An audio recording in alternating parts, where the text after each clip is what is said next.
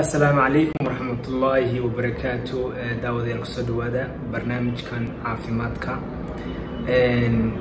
Hore waxaan uga hadalnay videogan video ka horeeyey marka ay goodo xejiyaha a c l-ku iyo sida loo talo iyo su'aalaha fara badan aan ka jawaabay oo ku taxalluqa sida loola macaamilo siday u goodo maanta waxaan ka jawaabayaa qofku marka lagu sameeyo camaliyad xijiyahan ruug markuu go-o xillima ayaad soconaysaa waqti intee lagaad soconaysaa? Xilliga aad soconayso waxa weeye dadku lix ilaa afar wiig ilaa lix wiig ayuu qof kadib soconaya. Wayna kala duwan tahay in operationkaaga lagu sameeyey. Had iyo jeer marka dadka xijiyahani go-o badanaa waxaas iyaduna dhaawac soo gaadhaa barkinta ruugga oo barkinta ruugga iyaduna oo dilaaca oo dilaayada la ama in laga goyaa marka waxay ku xidhan tahay wax dhaawac ee kale ku soo gaadhay ruuggaaga laakiin haddii xijiyahaas oo qura uu ku go-o oo dib loo xidhiidhiyo qofku had iyo jeer wuxuu socdaa toos u socon karaa afar ilaa lix wiig dadka qaarkood lix ilaa sideed wiig marka waxa weeye tani waxa weeye waa qofku xilliga caadiga uu soconayo toos uu soconayo.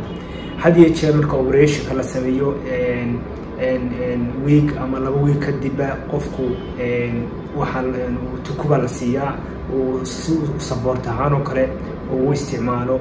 Kadib isla markiiba waxaa la siiyaa inuu qofku socdo oo bresi waa duubitaanna waa loo sameeyaa. Marka uu isla operationka kadib qofka markuu dhakhtar ka baxaba toos isaga ayaa u socda. Laakiin taasi markaa waxa weeye miisaankii oo dhan lama saarayo qofku tukuba ayuu isticmaalaya. Laakiin marka qofku uu miisaankiisa caadi wada saaraya lugta waa afar wiig iyo wixii ka dambeeya. Dadka qaarba sidaa yihiin operationka lagu sameeyey sida ay tahay. Marka xejiyahani aada iyo aad wuxuu aada ugu muhiimsan yahay in qofku haddii uu dhaawac kaa soo gaadho in camaliyad lagu sameeyo si aan hore fidyada hore uga hadlay si dib aanu kuguso degdegin xanuunada artroska iyo wixii ku dhaca carjooda ruuga oo kale ay wax ku noqoto.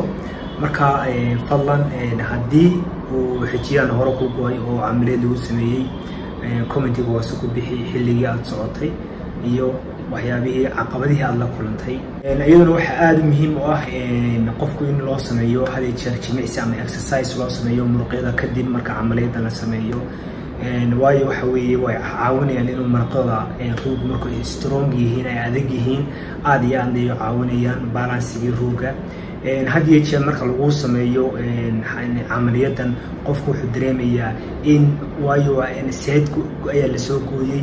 Seedaa marka laga soo gooyay qayb kale oo jirkaaga ah ama tusaale ahaan had iyo jeer waxaa la gooyaa seedaha ruugga dheegiisa midig qaybtiisa gudaha ee xiga ayaa la soo jaraa kadib lagu xidhiiriyaa marka qofku wuxuu dareemayaa in waxaan jirkiisii ahayn seedii ayuu dareemaya waayo waa wax ku cusub inta la qabsanayso ee ruugu la qabsanayo isla waayo marka camaliyadda la sameeyo exercise baan u sameynaa qofka. Inaan ruugii isagoo dhammaystiran isku soo laamo aanu kala bixinina oo ilaa labaatan jeer ku celcelino si aanu u fiirino in seedu ay sideedii originaal ahaan si tii hore kale ay u shaqaynaysay. Markaa daawade haddaad ku cusub tahay channelka. Please subscribe-ta saar. Aada iyo aadna waa idin salaamaya. Waa waqti waa kuu fiicnaada meel aad joogtaanba bye